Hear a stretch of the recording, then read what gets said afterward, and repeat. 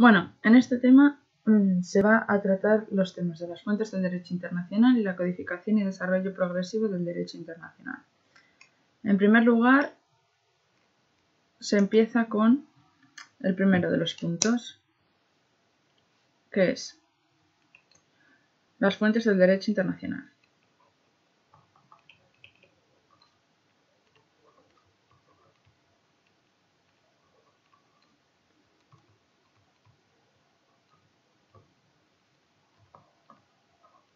Bien.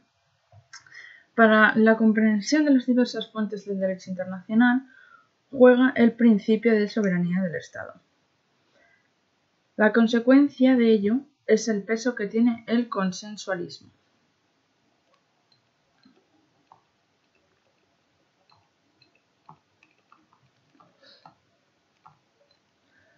El consensualismo consiste en la obligatoriedad de esas normas de derecho internacional que tienen como regla general su previa sumisión a la previa aceptación de las mismas por sus destinatarios.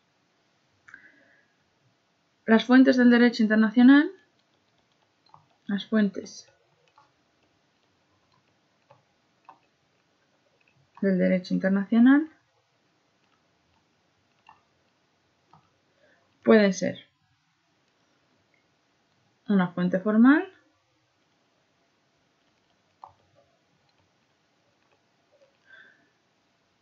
que son los tipos de instrumentos jurídicos en los que se recogen las formas que conforman el ordenamiento jurídico internacional.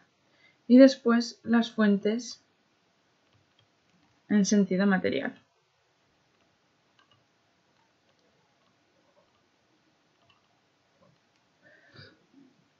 que hace referencia a los actores e instituciones concernidos por el proceso de conformación de esas normas de derecho internacional. Los distintos actores e instituciones involucradas en la creación de la norma de derecho internacional pueden generar distintos tipos de instrumentos en los que se recoge la norma. Destaca que el protagonismo principal en cuanto a la creación de la norma de derecho internacional corresponde a los Estados, y no existe una relación unívoca entre una regla de derecho y una fuente formal. Es decir, que una misma fuente formal puede incluir diversas reglas de derecho y una misma regla de derecho puede contener diversas fuentes formales. Destaca, por ejemplo, la regla de la delimitación de espacios marinos que puede encontrarse en un tratado y además en una costumbre internacional. Mm, si volvemos de nuevo al consensualismo,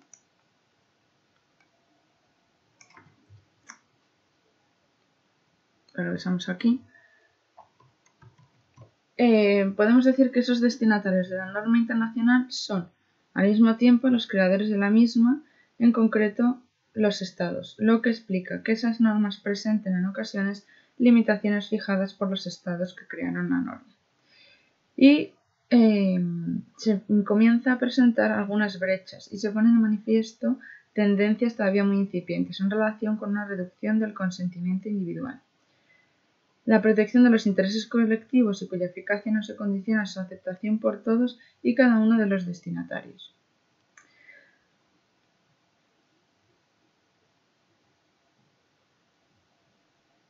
Esto último que acabamos de decir son las normas imperativas.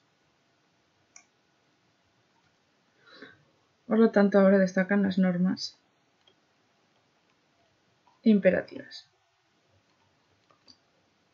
o normas de ius cogens. Ius cogens. Repito, estas normas imperativas son normas o reglas de derecho internacional que están dirigidas a la protección de los intereses colectivos y cuya eficacia no se condiciona a su aceptación por todos y cada uno de sus destinatarios, como es el principio fundamental que es el consensualismo, pero con estas normas imperativas lo que se necesita es una, no se necesita esa aceptación por todos. Viene recogido en el artículo 53 de la Convención de Viena sobre el Derecho de los Tratados de 23 de mayo de 1969 en donde dice que es una norma aceptada y reconocida por la comunidad internacional de estados en su conjunto como norma que no admite acuerdo en contrario y que solo puede ser modificada por una norma ulterior de derecho internacional general que tenga el mismo carácter. Conclusiones que obtenemos de esto. En primer lugar, en primer lugar, destaca que el reconocimiento de esas normas como tales no se somete a su aceptación por Estados en la comunidad internacional. Por lo tanto, el reconocimiento de esas normas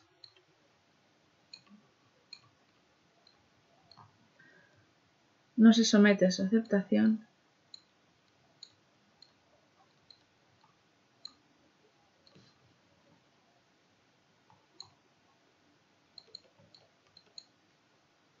por cada estado.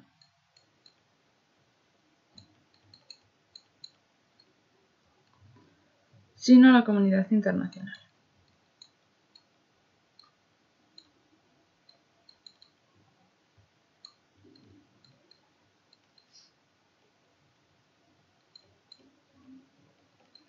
Bien. No existe ningún catálogo de normas que formen parte de esta categoría de normas imperativas, pero nos puede servir como un elenco oficioso de normas el artículo 2 de la Carta de las Naciones Unidas. Pero no está completo, puesto que estas van a ir cambiando con el tiempo y se va a producir una actualización vía jurisprudencial, eh, siendo los tribunales internacionales, sobre todo el Tribunal Internacional de Justicia, los que concluyen si una norma reúne las condiciones necesarias para ser considerada como imperativa o no. El segundo de los requisitos es la primacía respecto de cualquier otra norma de derecho internacional.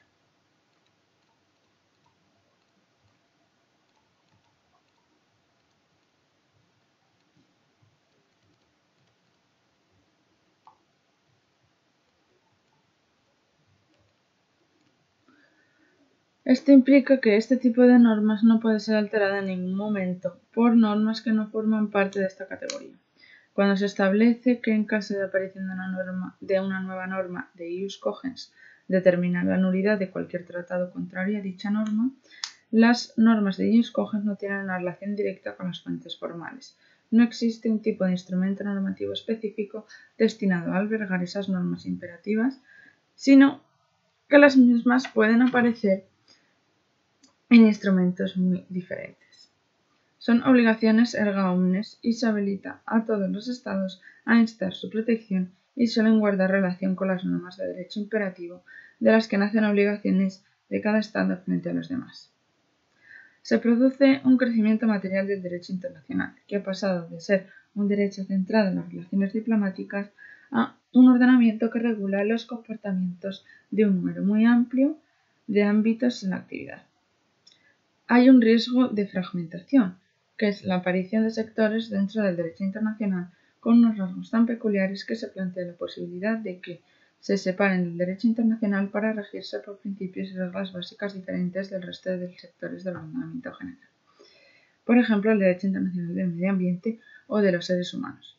Para afrontar este riesgo es necesario que se refuerce la observancia de esos principios y reglas centrales del derecho internacional en esos sectores, aunque se adaptan a los perfiles propios de cada sector.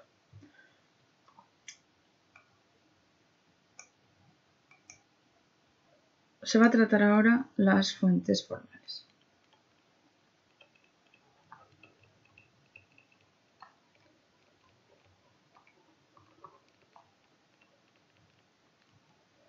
Dentro de las fuentes formales, cabe decir que tampoco existe un catálogo oficial de fuentes. Lo más cercano es el artículo, destaca el artículo 38 del, del Estatuto del Tribunal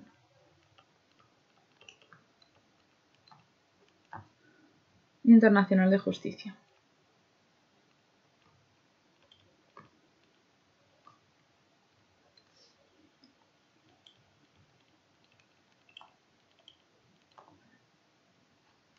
En él se establecen eh, diversas fuentes formales. Nos dice que la Corte, cuya función es decidir conforme al derecho internacional las controversias que le sean sometidas, deberá aplicar las convenciones internacionales. B. La costumbre internacional. C. Los principios generales del derecho. D. Decisiones judiciales y las doctrinas de los publicistas de mayor competencia de las distintas naciones. Y en el 38.2 dice la presente disposición no restringe la facultad de la Corte para decidir un litigio ex aequo bono, si las partes así lo convinieren. Por lo tanto, podemos destacar como fuentes formales, gracias a este artículo 38 del Estatuto del Tribunal de Justicia, en primer lugar los tratados, que como acabo de decir, se identifican en el artículo como convenios internacionales. En segundo lugar, destaca la costumbre internacional.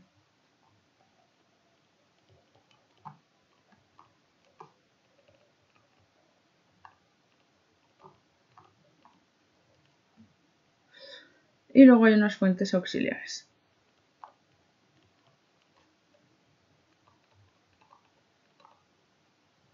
Como pueden ser.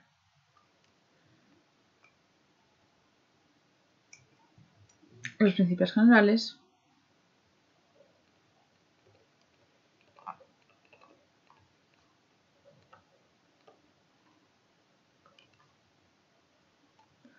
La doctrina. o la jurisprudencia.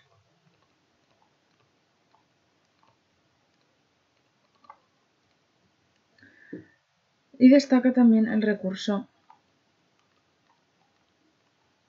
a la equidad.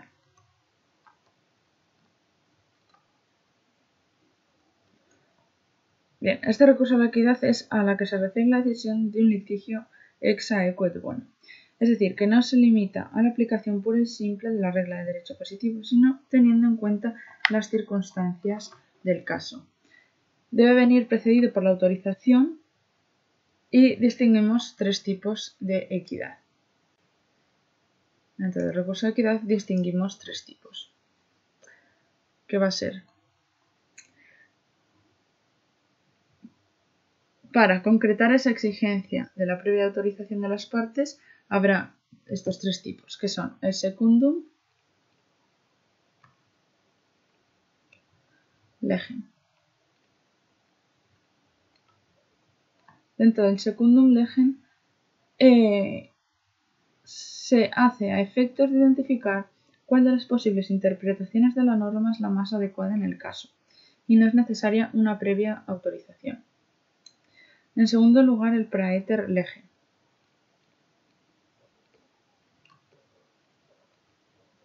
el Praeter Legem, em, se utiliza como medio para colmar una laguna jurídica y tampoco necesita una previa autorización.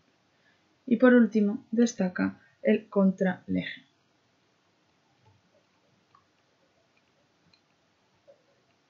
El legem, que sí que necesita en este caso una previa autorización. El juez lleva a cabo una corrección de la norma para evitar ese resultado manifiestamente injusto.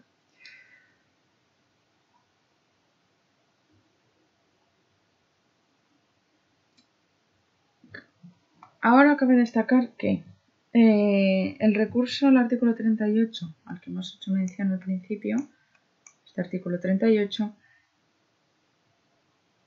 em, para, intentar identificar el elenco de fuentes de derecho internacional se plantean dos obstáculos. Es decir, este artículo 38 plantea eh, unos obstáculos, que son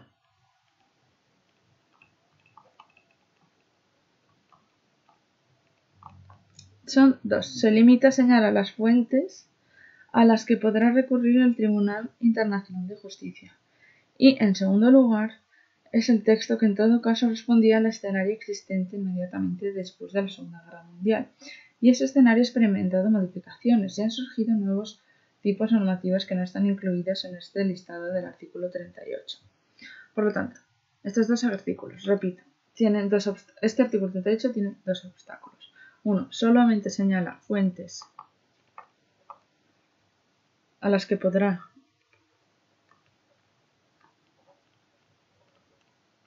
recurrir el Tribunal Internacional de Justicia. En segundo lugar, estaba pensado para el escenario de la Segunda Guerra Mundial. Este escenario no, recoge, no recogía em, los nuevos tipos normativos que han, que han salido. Por lo tanto, a esta lista debemos, a esta lista que hemos incluido aquí, de todas las fuentes de derecho, habría que incluir otras dos que serán los actos unilaterales de los estados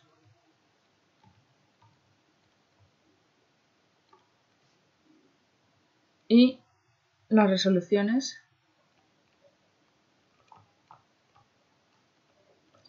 de las organizaciones internacionales.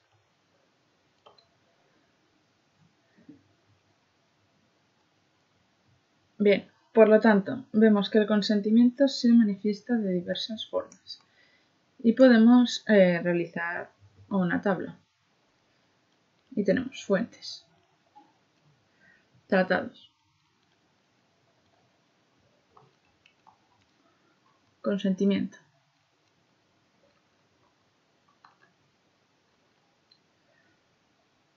El consentimiento de los tratados puede ser bilateral o multilateral.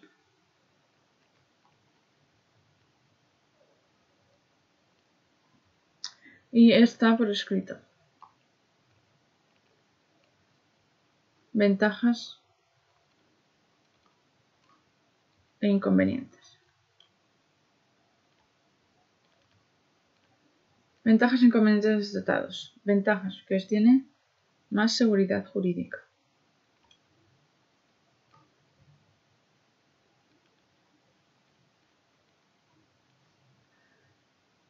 Tiene un procedimiento preestablecido. Y por último, es rápido. Tiene rapidez. Bien, en segundo lugar, destaca la costumbre. La costumbre cuyo consentimiento puede ser también bilateral o multilateral. Y se deduce del comportamiento de los estados.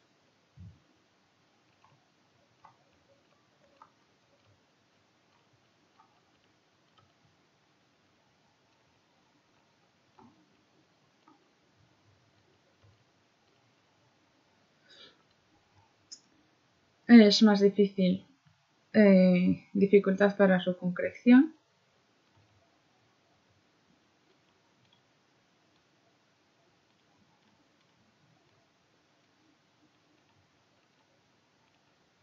Por otra parte, menor seguridad jurídica.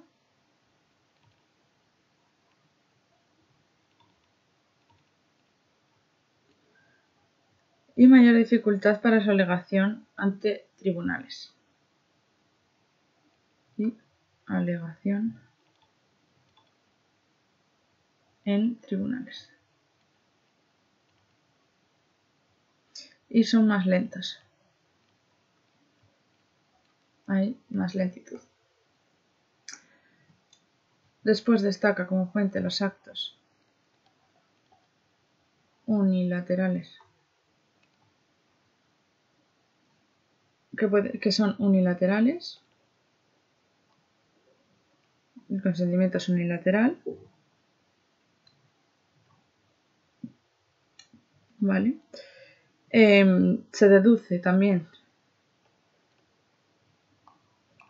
del comportamiento de los estados como la costumbre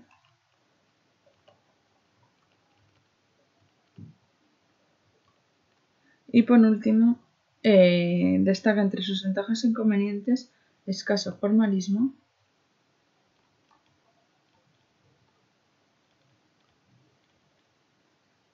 carácter difuso,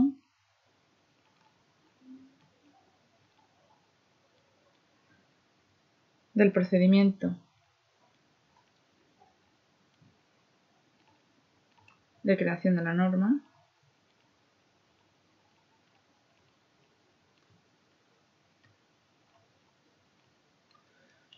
Y por último, destacan las resoluciones como fuente, las resoluciones de organizaciones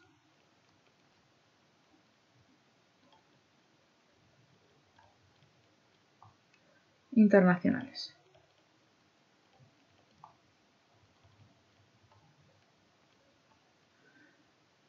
El consentimiento es colectivo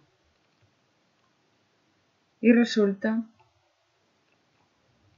de la confluencia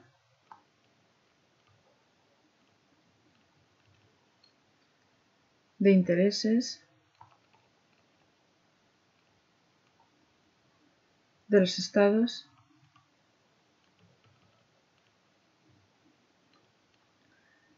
miembros de la organización.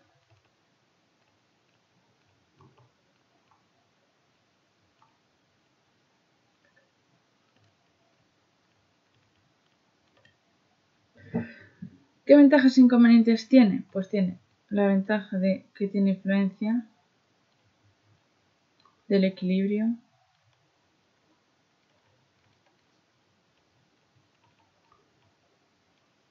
De intereses.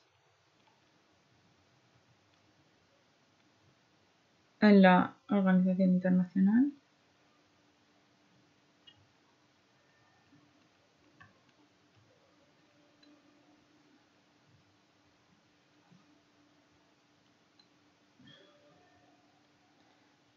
en la organización internacional y además eh, carencia de obligatoriedad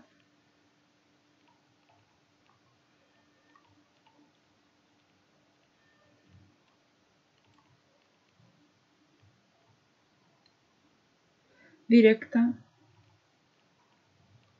como regla general.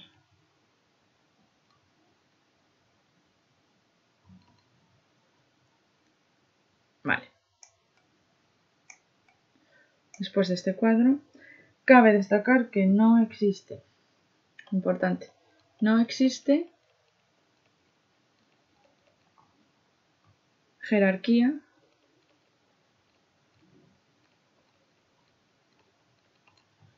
entre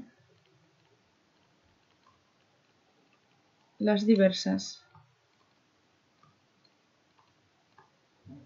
fuentes formales.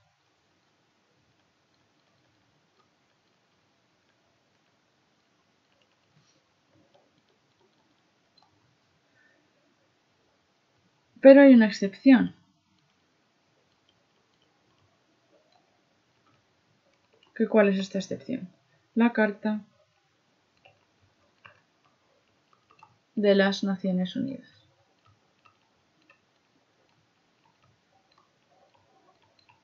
Esta carta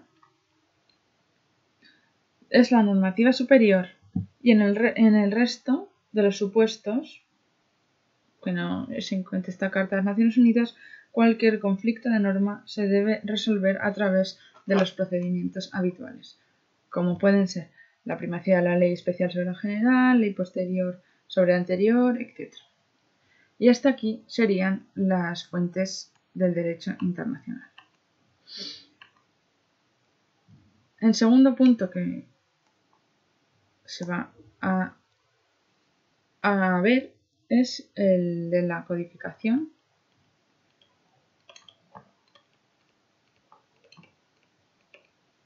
y desarrollo progresivo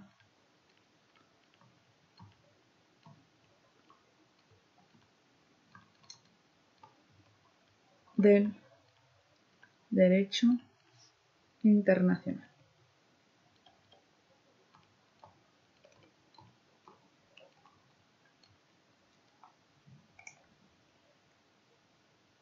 El proceso de codificación del derecho. ¿En qué consiste? Esto ya se ha visto también en otro tipo de asignaturas porque se repite. Bien, pues el proceso de codificación del derecho consiste en la recopilación en un solo texto de distintas normas destinadas a la regulación de un ámbito determinado. ¿Cuáles son las ventajas? Pues eh, sistematización y ordenación, facilitando su comprensión. Tiene lugar en el siglo XIX. Eh, en ese caso, el derecho internacional presenta dos rasgos que lo diferencian de este esfuerzo codificador en otros ámbitos del derecho. Tiene lugar más tarde, al amparo de las organizaciones internacionales. Es decir, que el proceso de codificación del derecho tuvo lugar en el siglo XIX, pero el del derecho internacional más tarde, con el, al amparo de las organizaciones internacionales, y esto fue en la segunda mitad del siglo XX. Destaca la Organización de las Naciones Unidas. Tiene un claro protagonismo en lo que se refiere a la adopción de aquellos convenios de alcance general y se encuentra en la mejor situación dada su vocación universal. Por lo tanto, dentro del proceso de codificación del derecho internacional, del derecho en general, se destaca la organización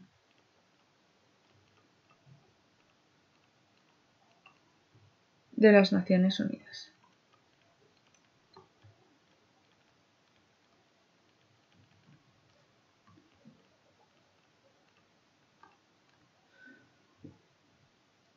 porque mm, es la mejor situación dada su vocación universal y además toda esta labor codificadora donde lo plasma en la Carta de las Naciones Unidas.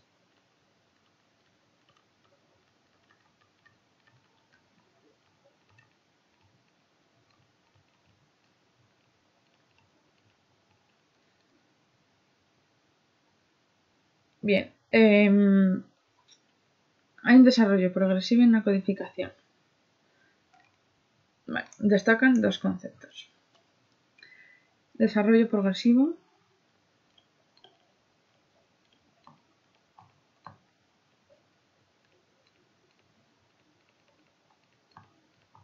versus codificación.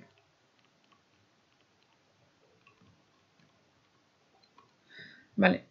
Em, son dos términos que no son difíciles, perdón, no son fáciles de separar y eh, lo que se entiende por una u otra se encuentra dentro del Estatuto de la Comisión de Derecho Internacional. El desarrollo progresivo, voy a llamar 1, la codificación 2. El desarrollo progresivo nos dice el Estatuto de la Comisión de Derecho Internacional que se refiere a la elaboración de proyectos de convenciones sobre temas que no hayan sido regulados todavía por el derecho internacional o respecto a los cuales los estados no hayan aplicado en la práctica normas suficientemente desarrolladas. Y en segundo punto, la codificación dice que la más precisa formulación y la sistematización de las normas de derecho internacional en materias en las que ya exista amplia práctica de los estados, así como precedentes y doctrinas. Por lo tanto, dentro del derecho del desarrollo progresivo, el 1, vemos que este desarrollo progresivo se destina a la extensión del derecho internacional a nuevos ámbitos.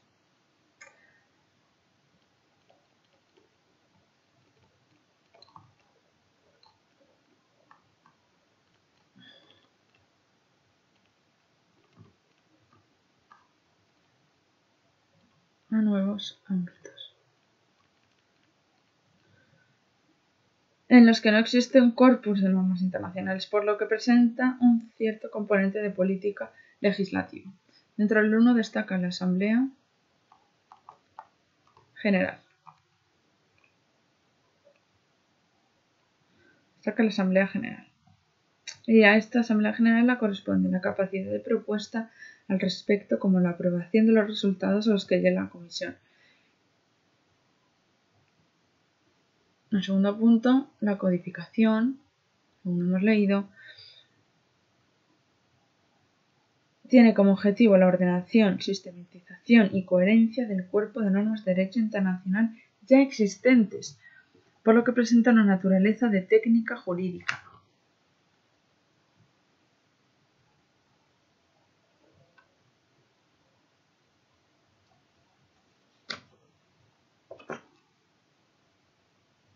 Destaca. Por lo tanto, como objetivo, sistematización,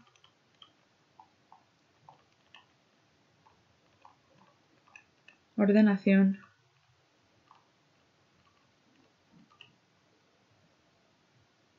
y coherencia.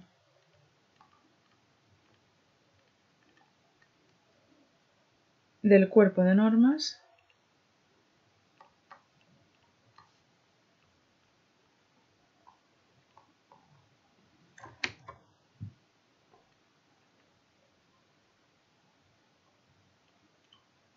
del derecho internacional ya existentes.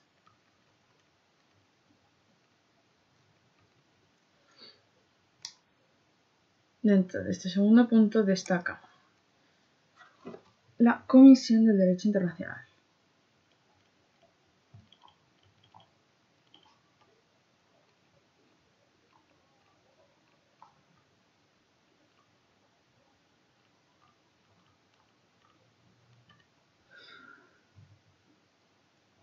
Y a, este, a esta comisión tiene como tarea examinar en su totalidad el campo del derecho internacional y escoger las materias susceptibles de codificación. Según, cuando juzgue necesaria o conveniente la codificación de una materia determinada, presentará su recomendación a la Asamblea General. Y en tercer punto, deberá conceder prioridad a los asuntos cuyo estudio le haya pedido la Asamblea General.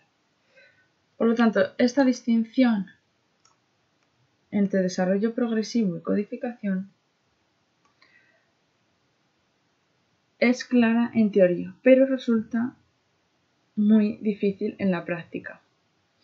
Destaca como, por ejemplo, la Convención de Naciones Unidas sobre el Derecho del Mar de 1982, por una parte ordena y sistematiza normas contenidas en anteriores convenios o que revestían la forma de costumbre internacional, y por otra, innova extendiendo el ámbito regulatorio del derecho internacional.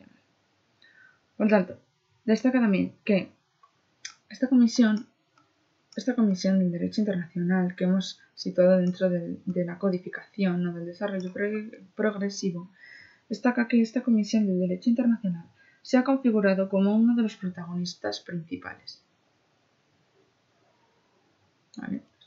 se ha, eh, configurado como uno de los protagonistas principales del proceso de codificación del derecho internacional. Esta comisión cuenta con 34 miembros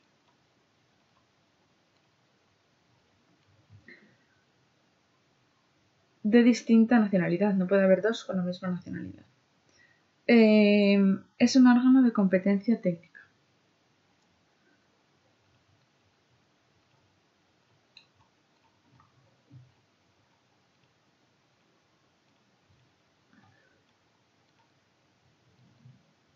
órgano de competencia técnica y ha intentado que haya una representación geográfica lo más amplia posible para dar entrada a todas las tradiciones jurídicas.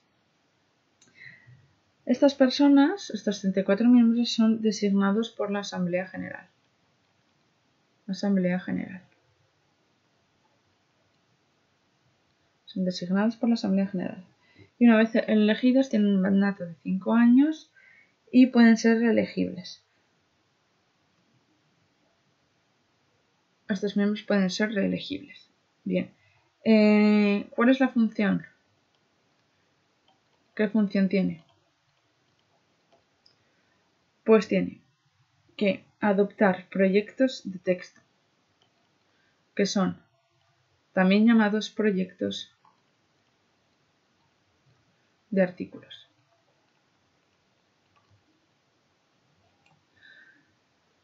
Para desarrollar los trabajos en relación con cada materia, se nombra como relator especial, con un relator especial. Este relator especial es nombrado a uno de esos 34 miembros. Si es aprobado en la Asamblea General, aprobado en la Asamblea General, entonces se convierte en un tratado.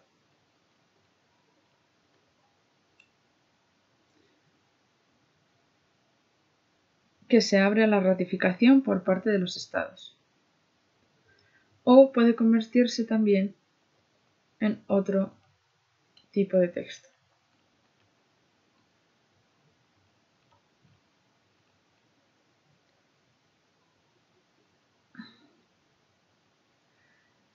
También vamos a destacar que dentro de la codificación hemos encontrado la Comisión de Derecho Internacional, pues destaca otro órgano. Por lo tanto, el uno, el órgano a destacar primero es la Comisión de Derecho Internacional. Y el segundo son organismos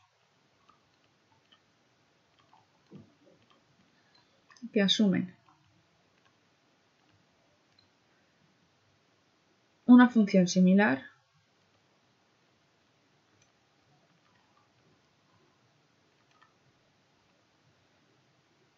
Pero en relación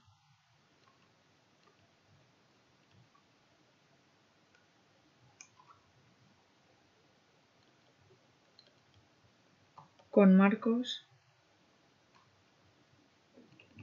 jurídicos, perdón, marcos geográficos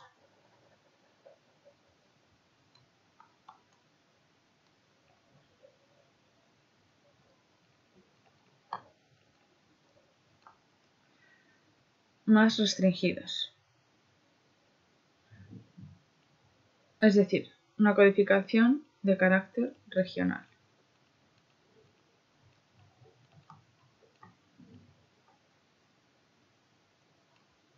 Bien. Destaca. Destacan, por ejemplo, dentro de este mundo 2, el comité de asesores,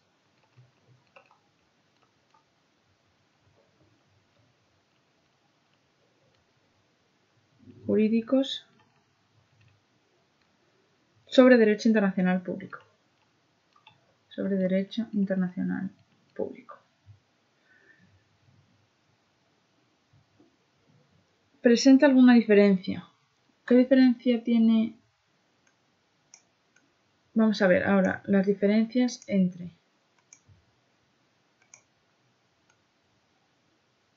la comisión del derecho internacional, diferencias entre la Comisión del Derecho Internacional y el Comité de Asesores Jurídicos sobre Derecho Internacional Público. Bien, ¿cuáles son las diferencias entre estos dos?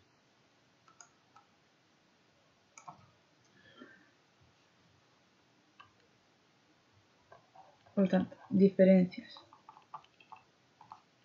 entre la comisión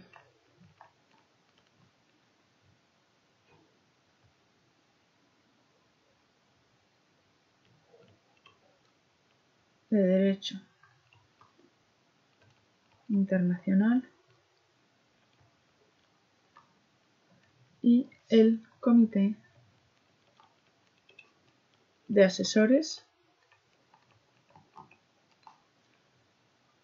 jurídicos sobre derecho internacional público. Bien, estas diferencias son, en primer lugar, que el, el, Comité de Asesores Jurídicos sobre Derecho Internacional Público se compone de expertos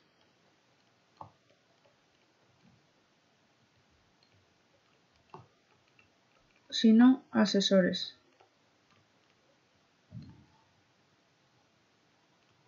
jurídicos en derecho internacional. En derecho internacional. 2. La función, la función del Comité de Asesores Jurídicos no preparar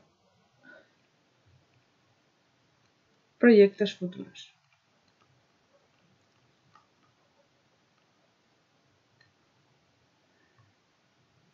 de convenios, sino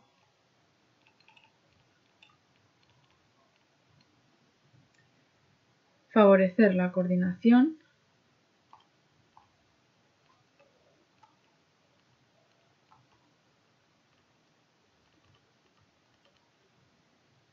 entre todos los Estados miembros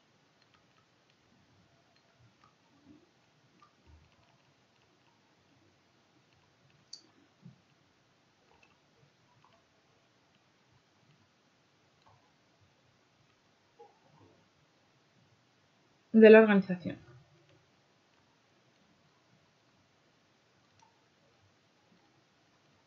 Esas son las diferencias que hay entre estos dos.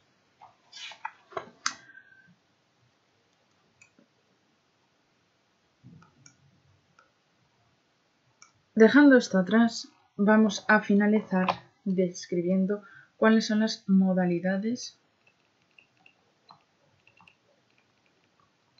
de codificación.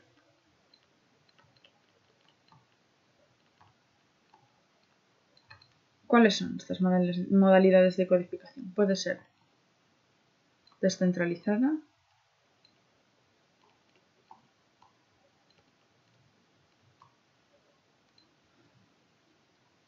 o privada.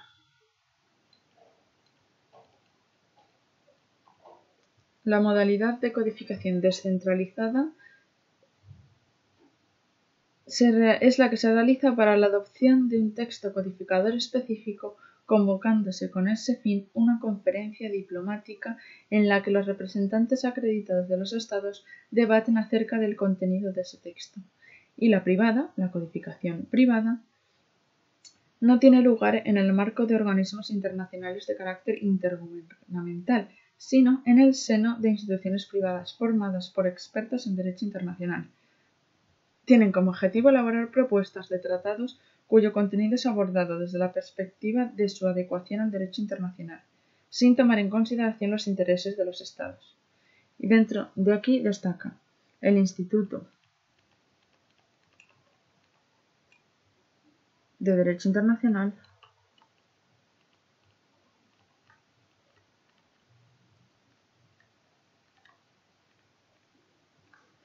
y la Asociación